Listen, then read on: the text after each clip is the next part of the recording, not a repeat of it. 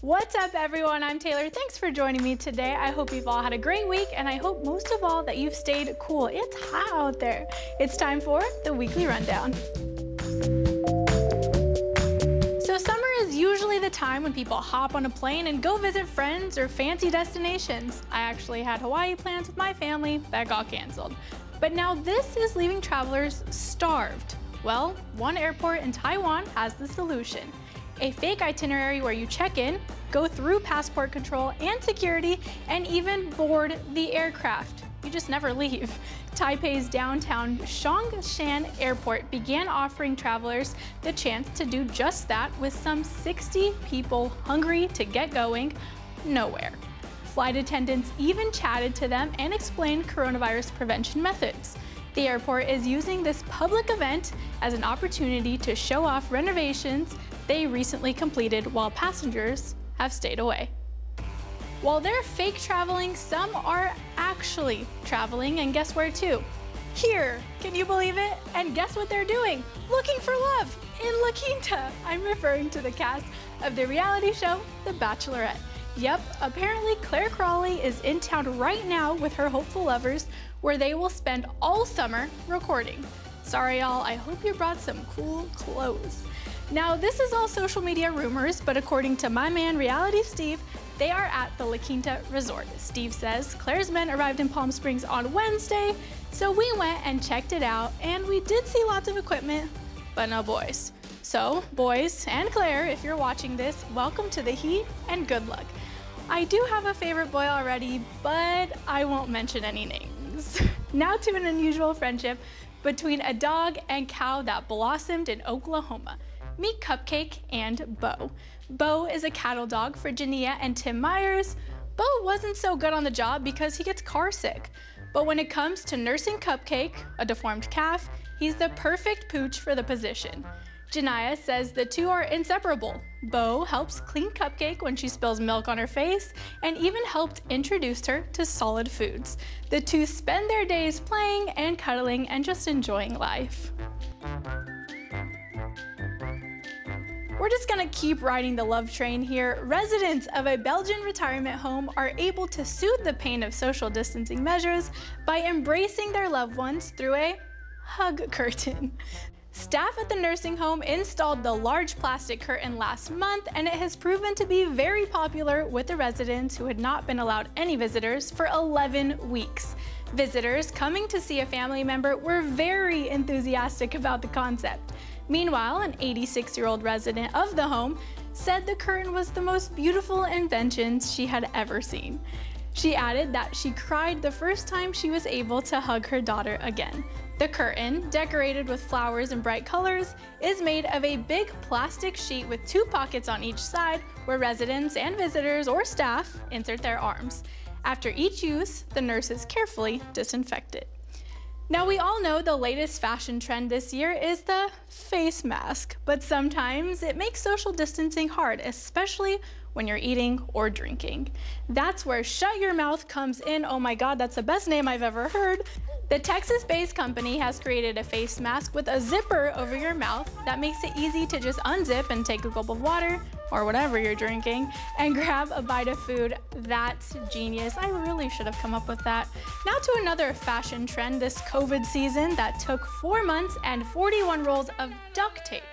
Put those together and you have one COVID-themed prom dress. 18-year-old Peyton Manker from Illinois made a prom dress entirely out of duct tape for a scholarship contest.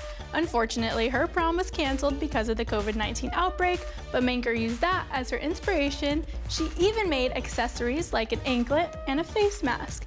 And bringing it even closer to home, a 2020 grad from Palm Desert High School was also a finalist, and her name is Anna Nall. Would you look at that dress? You go, Anna. Fashion is one of her strongest passions, and she was even voted most likely to be on the cover of a fashion magazine by her classmates. And now she's headed to UC Berkeley. The votes were actually due yesterday, but good luck to both of these talented girls who are in the running for a big scholarship. Sports are slowly but surely coming back, thank goodness, and 22 NBA teams return to competition in Orlando, and the practice courts are ready.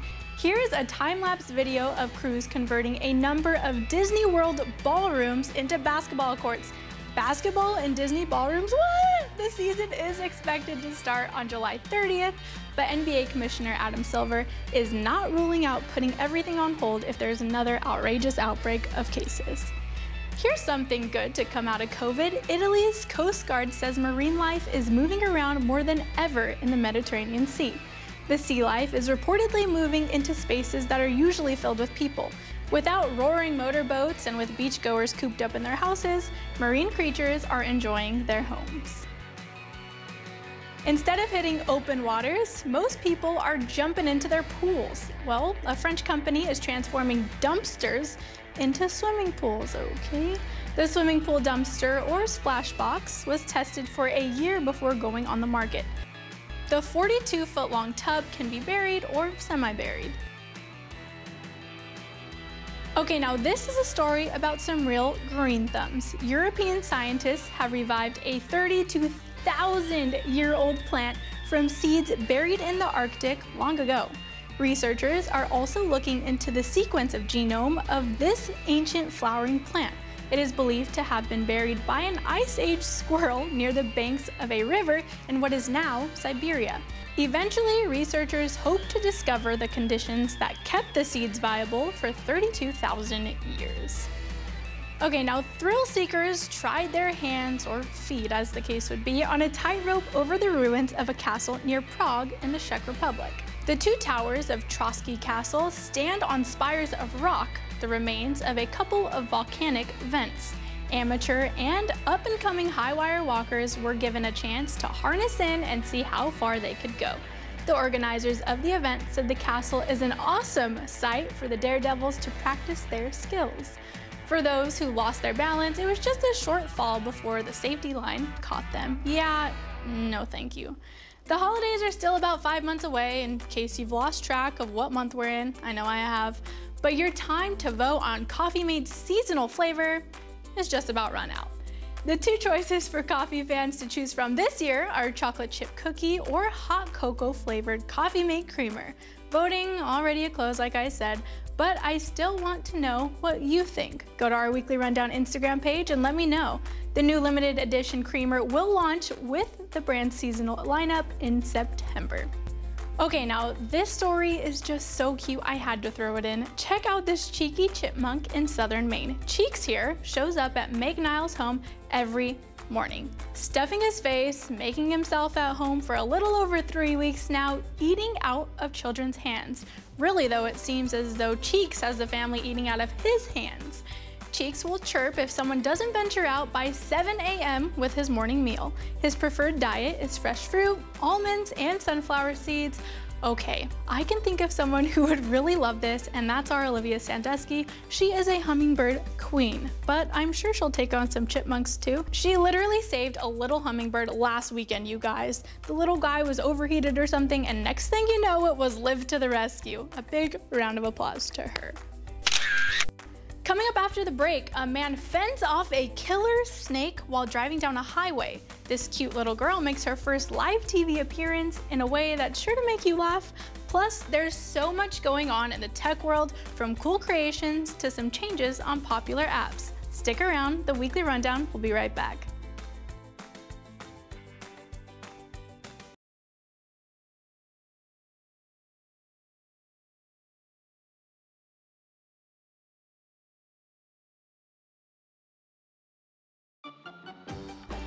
Back to the weekly rundown where we wrap up what's been trending throughout the week. As you may know, live TV can be very unexpected. Well, an English health expert was doing a TV interview when her daughter decided to join in on the fun. Clare Wenham, a global health policy professor, was doing a live interview on the BBC when little Scarlett appeared on the screen. Wenham was discussing local lockdowns in England while Scarlett's mind was elsewhere as she appeared to look for the best place to put a picture of a unicorn. When the girl turned her attention to the interview, she pressed her mother to know who she was talking to. What's his name? What's his name, Mommy? She said. What's his name? What's his name, Mommy? No, no, I'm good. I'm good, thank what's his name? Having received the answer she was looking for, Scarlett returned to the task of finding a spot for her unicorn picture. Now that's adorable and is sure to bring light to these times. Now to celebrate the 20th anniversary of the Øresund Bridge linking Sweden and Denmark, Danish band Lukas Graham performed from the top of one of the bridge's pylons.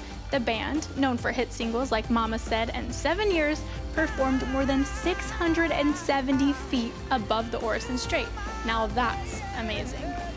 Take a look at this driver that fended off a venomous snake while driving on an Australian highway. Okay, that's casual. Police body cam video caught the conversation between the driver and an officer on the roadside in Australia's Queensland state. You feel my heart, You found a snake in your car. There was a brown, it's in the back of the tray, mate. Ah, that one. Police found a dead eastern brown snake in the back of the utility truck. The driver, a 27 year old man named Jimmy, had been pulled over by traffic police for speeding, but his mind was clearly out of it because he was fighting a snake, people. Hello. The eastern brown snake is highly venomous and one of the deadliest snakes in the world. Well, what a story that guy has to tell, huh? So apparently Apple just wants to hold your entire life in its phones now. The company wants its devices to take the place of your passport, driver's license, and other forms of ID. The tech giant has filed five patent applications for the technology. They detail how a digital copy of your ID can be stored, transmitted, and confirmed. Apple does not use the word iPhone in the applications, but refers to devices.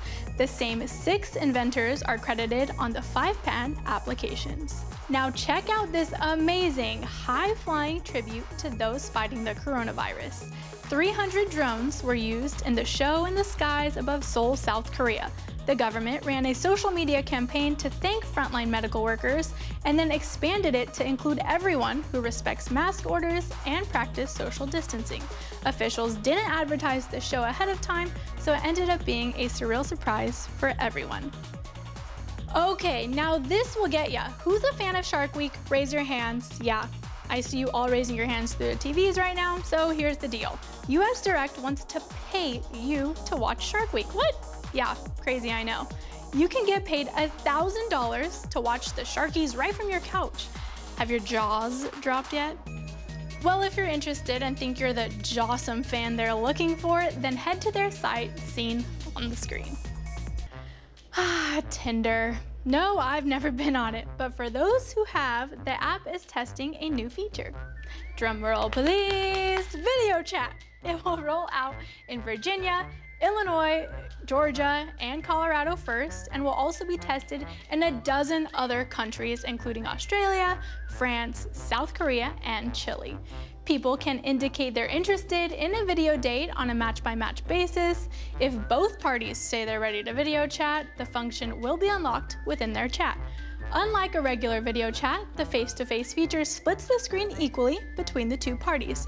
Other dating apps, such as Bumble and Hinge, have already apparently incorporated the capability. Like I said, I don't know. Now let's move over to Instagram. That I use. If you're trying to inject some positivity into your post, a new feature called pinned comments could be just the thing. Instagram began testing the feature in May, but now it's rolling it out for all of its users. The added option allows you to pin a few comments to the top of the comments thread on your post in hopes that it might encourage people on Instagram to be nicer. This is just one of the new features Instagram designed to help limit the harassment and bullying that can go on within the social media giant. And what is the only app gaining more popularity than Insta right now? TikTok. And now TikTokers everywhere are in panic because this week Mike Pompeo announced the US is looking into banning TikTok. This comes amid rising tensions between the US and China as scrutiny on TikTok and Chinese technology firms continues to grow. Now, I knew people would definitely react to this, so I took to social media, of course, to see just what their reactions were. So it's time for Say What? So here's some of the comments I got. Hallelujah. Sad, it has kept me laughing during this time, but also, if it isn't safe, then it needs to go. Ban it. Kids need to get outside. What will I do with my free time now? Oh, good riddance. Ban it. Oh, I'd low key be disappointed. Oh no, how will Eddie spend his time? Now that's a shot at one of our photogs, but shout out to you, Eddie. Now let me know what you think on our Instagram. Coming up after the break, we're checking in with Manny the Movie Guy, who's bringing things very close to home. I'll explain. Plus, a New Mexico company thinks they have created something that can kill the coronavirus. What could that be? Get your thinking caps on, light those light bulbs, and I'll see you in two minutes.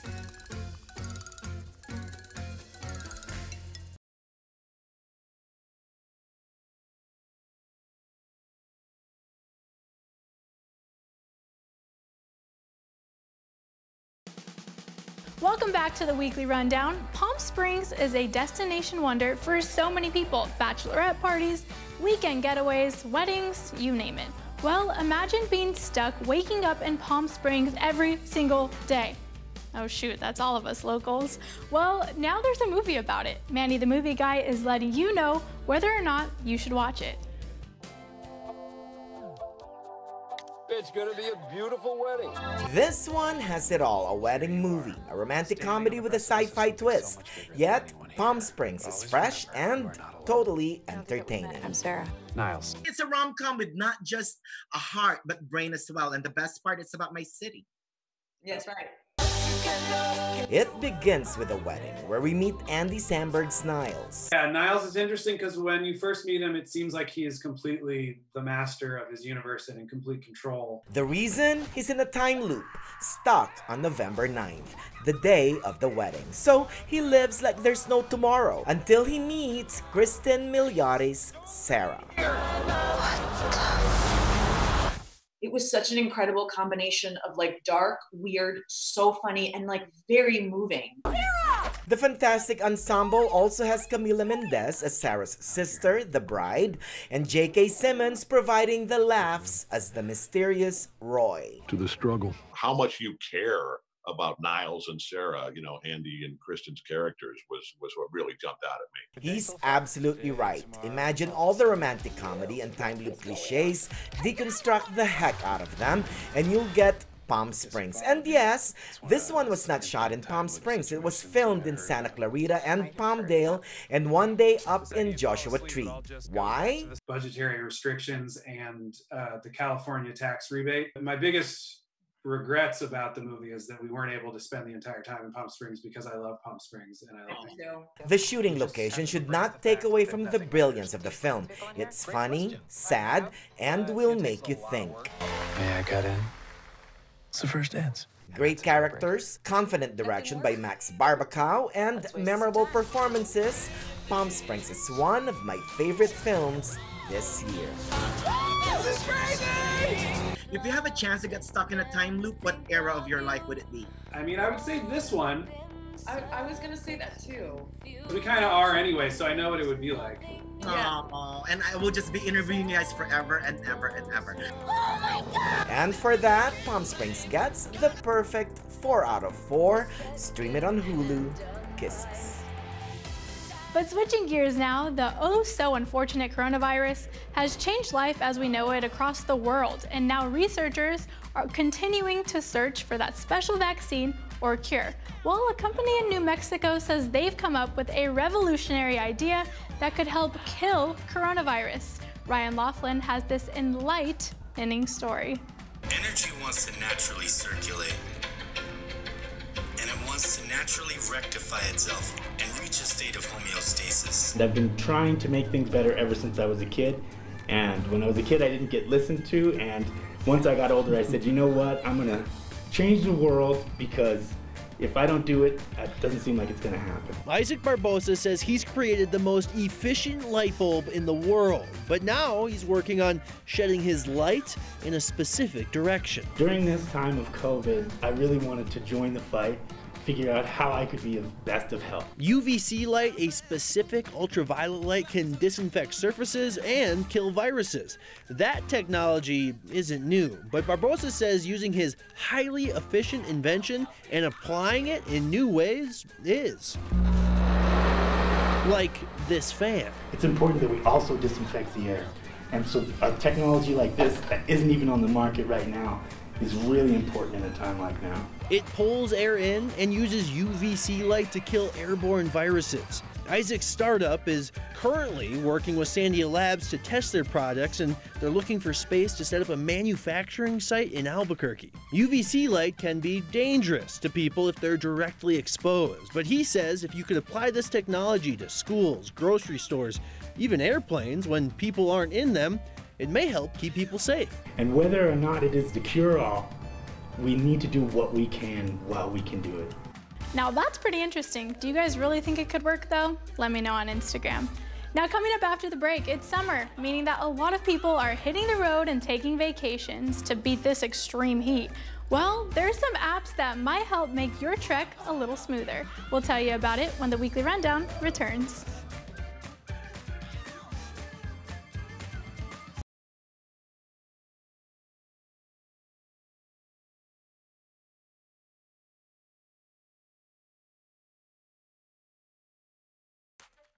Welcome back to the weekly rundown. Travel bugs, listen up. If you're planning on running away from the Coachella Valley heat and hopping into your RV this summer to head somewhere that's not so close to record breaking heat, then PC Mike has an app or two you might want to consider downloading while packing your bathing suits and towels.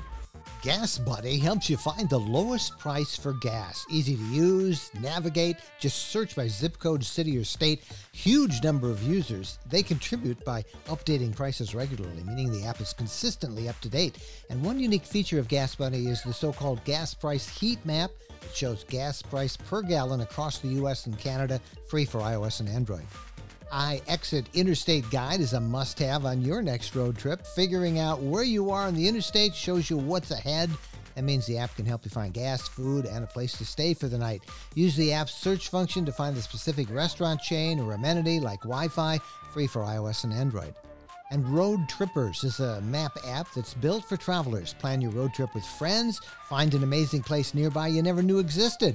Discover millions of places like local diners and quirky roadside attractions or scenic points, national parks, hotels. Get inspiration from the app's pre made trip guides on some of the most interesting and once in a lifetime routes that you need to see at least once. The app is free for iOS and Android. If you want to know more about these apps, you can check out PC Mike's tech blog at the address on your screen. He's built in direct links to everything he just showed you. So all you wanderers better get to it. We'll be right back.